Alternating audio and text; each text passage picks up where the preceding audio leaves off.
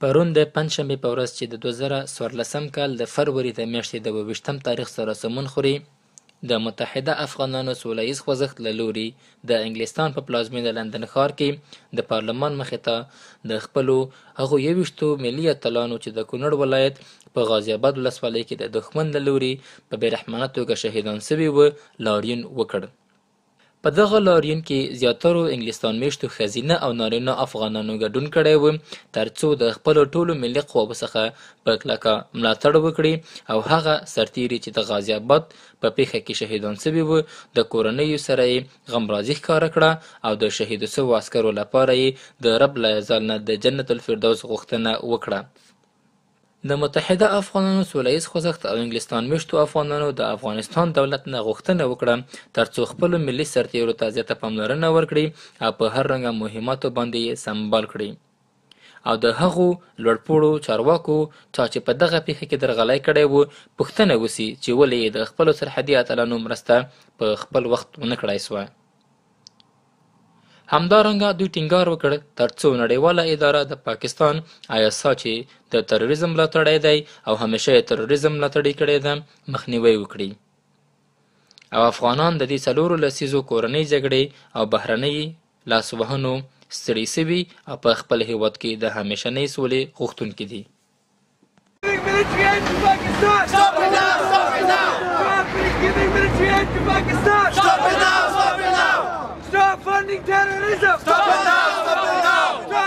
رئیس جمهور افغانستان وزیر دفاع افغانستان لوی درسیز افغانستان کابینه بدنام افغانستان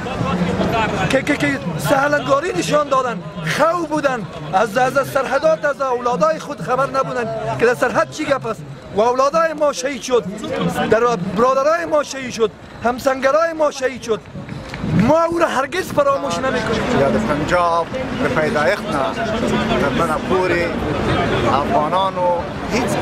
خوف رس ندن سره تر هغه وخت پوری چې د دوی سره زمونږ ځمکنۍ کړکیچ نه وی حل شوی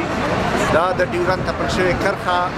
دغه سبب ده چې دوی مطلب دوی ته کومک ونه کول شو دوی کومک غوښته هغه ولې په ټیم ورته ونه رسول شو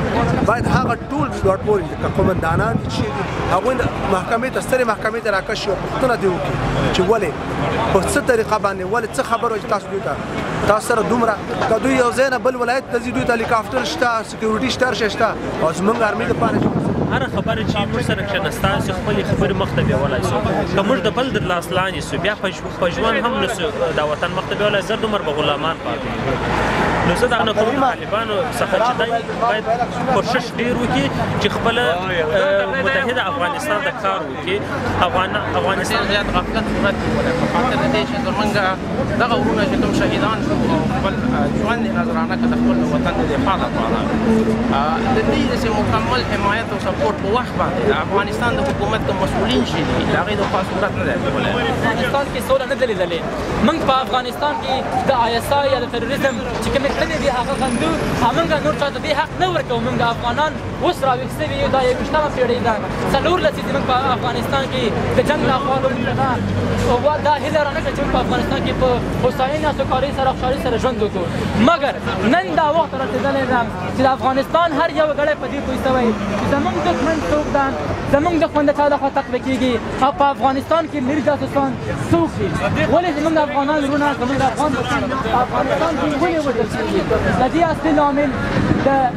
ګاونډیو هېوادونو د افغانستان تأمین په موږ باندې نه لورېږي او هغوی دا نه غواړي چې افغانستان یو سولامیز سوله غوښتونکی سوله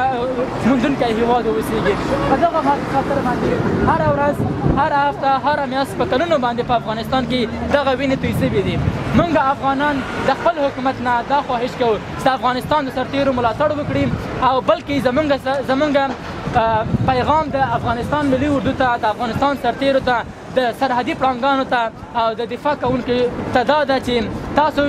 درې میلیونه نه بلکې د افغانستان هر وګړی د افغانستان لپاره ساتندوی د افغانستان د دفاع لپاره یو زمری ده نو تاسو ته موږ ډاډګرنه درکوو که موږ د هیواد په داخل کې د هیواد نه چې هر څومره لري یو موږ به همیشه تاسو په خدمت کې یو او همیشه موږ تاسو سپورټ کوو ان شاء الله افغانستان زنده باد زمونږ د راتلونکو کاندیدانو مشرانو نن دا هیله ده چې افغانان اوس راویښ دي په خپلو پالیسیو کې په خپلو تګلارو کې باید داسې پالیسي اختیار کړي چې زمونږ نېشنل آرمي زمونږ سرتیري باید صحیح تقویه سي صحیح برابر سي صحیح جوړ سي که دوی موږ سره هغه وعدې چې دوی اوس په انتخاباتو کې کوي او دوی تر سره نه کوي افغانان راویښ دي هیڅ وخت به دوی دوی ته اجازه ورنکړي چې دوی په آینده کې مونږه غولونکي وادو باندې وغولي او ان شاء الله افغانان به دوی په هر مقابل کې ودرېږي نو زمونږ یوازینه دا مونږ افغانان د راټول شوی زمونږ د ټولو د زړه आवाज هم دا دی چې مونږ خپل د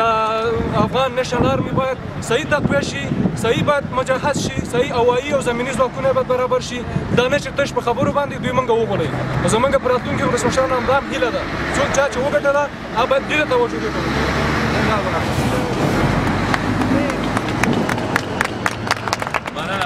compassionate Afghans, we the United Afghan Peace to the fallen soldiers in Kunar province on the 23rd of February 2014. We are here because of this unfortunate incident and we are hopeful that this doesn't happen again and the only way we can do that is if we stay united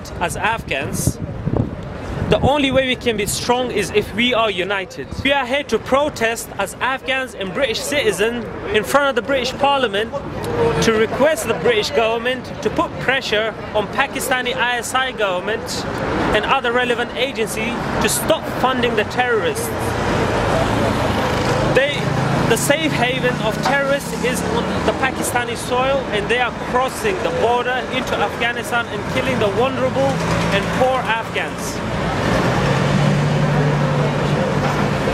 It is clear that the terrorists crossed from the Pakistani territory to, into Afghanistan, but it's not from now. It has been happening since 2001. And if we don't stop this now, this will keep happening in the future. ISI chief Hamid Gul, who claimed that the Taliban are their assets and they're using it against Afghanistan. This message is specifically to the Pakistani public. These policies of the Pakistani government and ISI are greatly affecting every common Pakistani citizen, as this has created many enemies for them from all directions. In addition, they are losing credibility as a nation every day and the economy is also affected greatly. We Afghans can understand this and we can feel your pain and we sympathize with you. We acknowledge that you want to be part of a progressive country, a country that is generous and not a hostile nation towards its neighbors. This is what we Afghans want as well.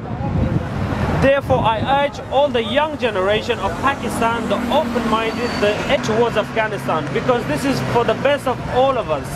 We are not going anywhere, neither are you. We are going to live here now and for hundreds and thousands of years. So let's work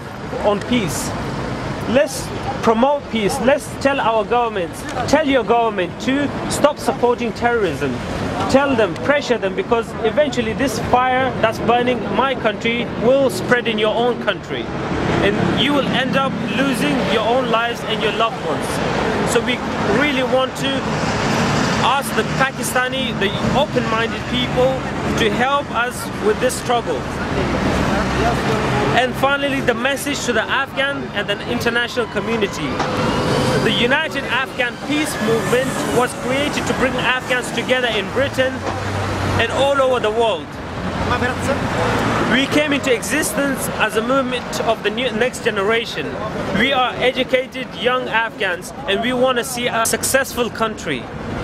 We want all the young people to step up and do their bit and bring the positive change to all, all the people in Afghanistan. We can do it together. So I would urge every single one of you to come and stand up and always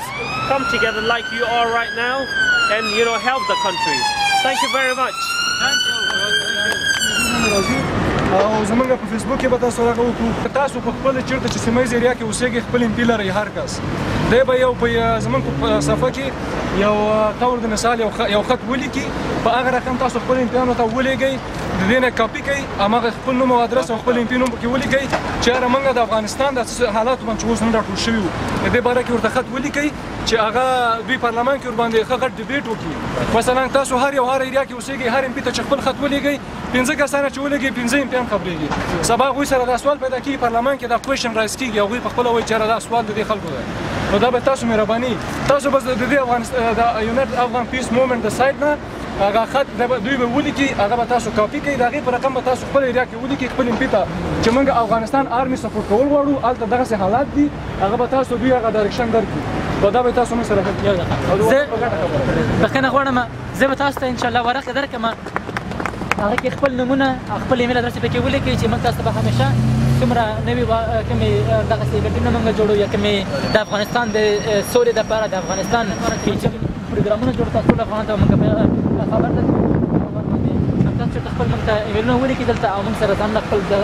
سبسکرایب کړئ دا به تاسو غټه مهرباني به وي او همدارنګه کوشش وکړئ زموږ دغه پیغام د افغانستان د افغانستان د ځوانانو چې نن په انګلستان کې راجمع شوي دي ټول افغانان ته چې په انګلستان په هر ښار کې اوسېږي هغه زموږ پیغام ورسوي تر څو موږ یو موټی یو لاس یو په یو اتفاق یو اتحاد باندې خپل ګران هیواد افغانستان چې څلوېښت کاله کېږي پکې اتفاق نه دی راغلی پکې سوله نه ده راغلې باید موږ دغه خپل هیواد خپل افغانان په یو لاس په یو موټی او اتحاد سره نور دغه غمیزې دغه کرګړنې توکې نه خلاص کړو او یو متحد افغانستان جوړ کړو ان شاء الله څنګه منې را سره